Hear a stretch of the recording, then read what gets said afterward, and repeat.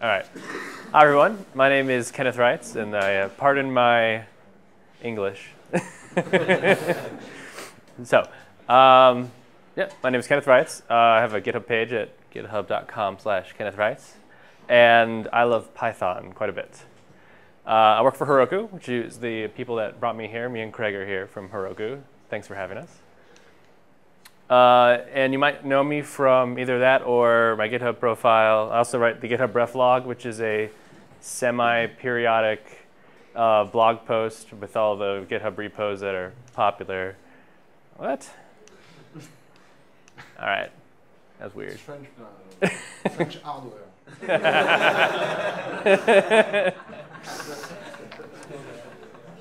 So I uh, wrote a lot of projects you've probably heard of. Some of them, uh, requests is really popular, which is HTTP for humans. It lets you make uh, HTTP requests.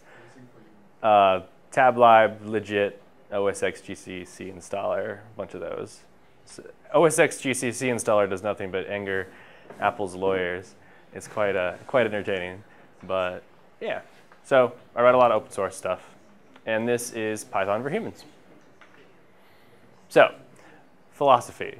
We all come to Python for various reasons. You know, I'm sure we all come from the same dark past, right? we all worked with Perl and Java and ColdFusion, and I'm sure some of us here even have to do this still today, and I'm very sorry. but you know, there are certain things that attract us to Python. Uh, and that's the reason that why we use it every day. Does, does anyone want to give some good examples of what they really love about Python that they don't like about other languages? Readability. Readability. That's a huge one. Yeah. No semicolon. so no you. Yeah, No, because I, I've got Yeah. uh, RSI because of. Uh, because of the semicolon? Yeah. That's a great reason. Although it's still valid syntax if you put it there. Yeah. So syntactic simplicity, uh, con- conciseness, and readability. There's a lot of things that we really value. Um, so the top of this list, I'd say, is the Zen of Python. I'm sure all of you are familiar with this. If you type import this at a, in an interactive interpreter, it spits out all of the key values and philosophies of Python. Some of the more important ones are beautiful is better than ugly, as you alluded to. Explicit is better than implicit. It's always better to very specifically point out the things that you're doing instead of just having them magically happen as a side effect of what you're doing. Simple is better than complex, and complex isn't necessarily better than complicated. Uh, if the implementation is hard to explain, then it's a bad idea. Unless you are PyPy. I think we all know that's very true. uh, and this is the most important one that we're going to touch on the most today, and it's that there should be one and preferably only one obvious way to do it. These are the things that we value as a community. They're the reasons that we've all used Python every day, and they're the things that make us different from all the other languages. But unfortunately, that is not always the case. It's not hard to make it the case. So, welcome to paradise. You've chosen Python. You're enjoying yourself. You like all these values. You know, let's say you just came over from PHP or Ruby. Uh, you know, everything's going to be awesome. Not true. Lies. All right, so let's say the first thing we want to do, let's say we were working with Ruby before and we were, you know, pretty simple thing to do is make a request to the GitHub API. So we know it in Ruby, so let's write that first and then we'll do it in Python. So in Ruby, it's relatively straightforward. It's not as good as it could be, but so what you do is you require the HTTP module and a URI module. You take your URL that you have and you parse it and you create a new HTTP connection with the host and the port from the parsed URL. You tell it to use SSL. Then you tell it to make a new GET request from the, from the URI, and then you attach some basic authentication. And then you make your request, and then you get the value. Simple enough, pretty straightforward, very explicit. So, first thing we need to do if we're going to do this in Python is figure out where is Python's version of net slash HTTP. Well, when you go and Google this, you'll find many answers. You'll find HTTP lib, HTTP lib 2, URL lib, URL lib2, uh, URL lib3, HTTP lib 2, uh, RESTKit, bunch of them. uh, this is a little bit better than Python 3. They refactored a little bit of the names, so most of the standard library ones are underneath the HTTP module, which helps a lot. But you know, we're all using 2.7, so still a problem. So several hours later, you're going to come up with this horrid piece of code, and this is how to hit the GitHub API with the standard library. So you import urllib2, you have your URL, you create a new request object from urllib2 with that URL, and then you create a password HTTP manager with a default realm. and then you add your password into it, attach the URL to it, and then you create a, basic authentication handler that you install into, no, you just create the auth manager. And then you create an opener, a urllib2 opener that you install with the auth manager. And then you install the opener. And then you can open your URL and then read it like a socket. Actually, I lied. There's a lot more. so the uh, GitHub API, unlike, so they use a, essentially, they have secured endpoints. So if you make a request for a private repository, uh, it, instead of doing a 403, they'll do a 404. So instead of saying not authorized, they say, I don't know what you're talking about. So uh, you cannot you cannot send basic authentication in Python with these with this system at all. So you have to write a forced basic auth handler that will send it no matter what the status code, or if it's a 401. Uh, it's, it's terrible. And this actually is just a small clip of it. It's actually like three times longer. But it's the only way to do it without, with using urllib2. It's, it's the worst. so admit it. If this is your very first experience with Python, you'd probably leave and never come back. The problem is that it's unclear which module you're supposed to use in the first place. The prognosis online seems to be the best practice is urllib2, but the documentation is absolutely useless. And even if you find some decent documentation written by someone else on some blog, it's like the worst API in the universe. I'm sure we all share this pain, right? so this, some people will argue that this isn't actually a very big deal, but I think it's a very serious problem because you know, HTTP, HTTP is essentially our universal protocol that we use every day. It should be the most natural thing in a language because, I mean, I'd say 90% of the time when someone's learning how to program, the first thing they're going to want to do is hit a web service, or when they're learning a language coming from something else. So HTTP should be as simple as the print statement. So the solution is simple. You have to build elegant tools to perform these tasks. Python needs pragmatic packages that'll take, well, here. Pragmatic means dealing with things sensibly and realistically in a way that is based on practical rather than theoretical considerations. If you look at urllib2 and the set of handlers and the mechanisms they built, it's extremely over-engineered.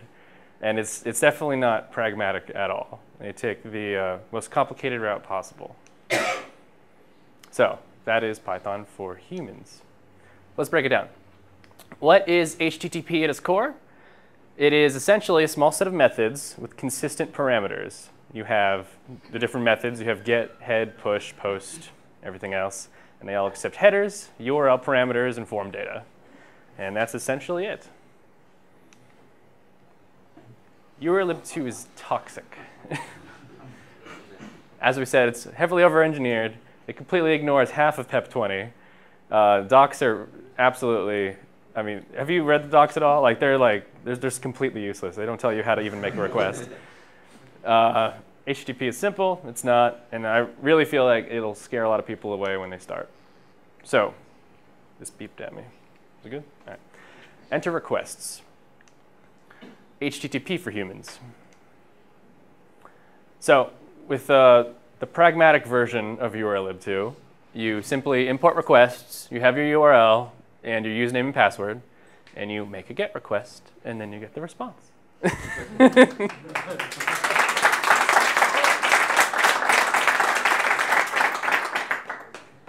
Achievement unlocked.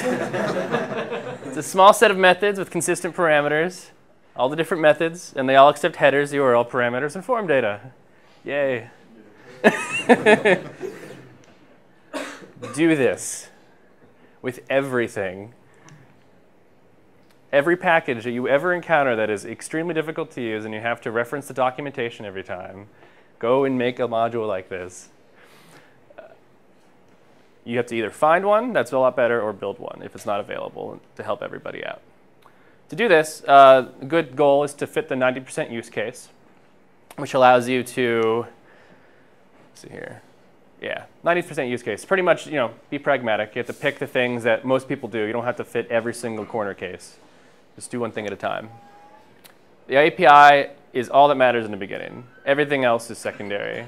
That means performance, features, efficiency, corner cases, everything. Make sure the API is perfect, and then all those things can improve over time. For example, requests, when it first started out, was not very powerful. It pretty much just worked. Um, but it deeply resonated with people and got a lot of contributors and people engaged and helping in the process. And the features grew over time, and the API never changed. So today it supports cookies, sessions, content iteration, decompression, file uploads, asynchronous I/O, keep alive, etc. It's the third most GitHub, third most watched Python GitHub project, and it has almost 200,000 downloads from uh, the cheese shop. And it's used by some big companies. So why am I telling you all this? I'm trying to tell you this because we all need modules like this we all want modules like this, and it's worth my time as an engineer, and it's worth everyone else's time as users. So if everyone took the time to make these packages for all the things that are difficult, I think everyone would be much better off. And I have another example with subprocess, but we can skip that. We're out of time. So my manifesto, unless there's an explicit requirement, a student should almost never be exposed to urllib2. I want no one to ever need to ever know about that unless they're like maintaining legacy code uh, under no excuses. So my manifesto is simplify terrible APIs. Questions? Yes. Uh, uh, why you bundle your URL tree on the request? Why it's not a dependency on request? What, why did I do what? Uh, URL tree uh-huh. is a bundle in your, yes. in request. Why is it, it's not a well. So I work really closely with the guy that wrote urllib3, and uh, essentially it's considered a contribution uh, it's part of request, but it happens to be available separately instead of the other way around. They're probably going to merge officially soon. So that's why. It's kind of a fork too, so I can make changes that he hasn't done yet. Yeah. That's it. All right. Thanks. Oh, sorry. Can you talk a bit more about the future of HTTP in Python? Yes. Um, so I got together with Armin Ronacher, uh, Paul McMillan, and Andrey Petrov, Andre, and we um, discussed the future of Python HTTP at PyCon, and we are going to merge Werkzeug and request together into a new module called HTTP Core, and it'll allow you to pretty much all of the stuff. So there's like WebOb right now, which will allow you to make requests through a WSGI app and stuff, through, like with an HTTP client. But we're going to do that at the HTTP level instead of the WSGI level. So because WSGI doesn't map one-to-one to web um, to HTTP, so we're going to be doing it at the HTTP level, and it'll be really exciting because you'll be able to make like you can completely mock requests, and you'll be able to do real OAuth tests against your Django application, for example. It'll be really exciting, and it'll uh, there's a lot of duplicated code right now too, because like you know I parse headers and Werkzeug parses the headers and we're just going to consolidate all that code. Yeah, exactly. That'll be really cool though. I'm looking forward to it. Yeah, uh, would that eventually uh, land in standard or not? Or uh, any plans about that? Eventually, yes. Um, not anytime soon. I was really torn about it. Like if I really tried, I could probably get it in like in for 3.4, but it's uh, essentially the standard library is where a module goes to die. so I'm going to be. It's I- true. I, I disagree because uh, I've got the former example of, of argparse. Mhm. argparse was just a small module that simplifies a lot your argument passing. Yes. And then it landed on, on standard lib and fine because every time I'm, I'm installing Python 2.7, I got it. Every time I, I'm installing Python 3, I got it. And that's Yeah. great because I don't have to install specifically this library. So request, I would. It's fantastic, but it needs to be argparse was done, right? Like there, it wasn't being actively worked on anymore, right? Yeah. That's the It will. difference. Yes. So pretty much I have to wait till requests is like solid and I don't have to be working on it. If, if I can go a period of like a month without needing to improve anything, then I say it's ready to go in the standard library. But that's a ways away. Yeah. Thank you very much. Thank you. Oh.